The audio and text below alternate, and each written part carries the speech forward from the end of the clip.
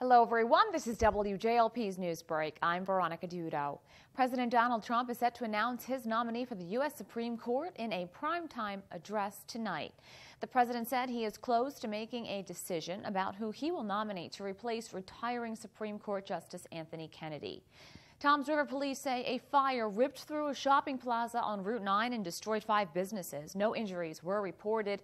An investigator from the New Jersey Fire Marshal's office is on the scene interviewing business owners. The cause of the fire has yet to be determined.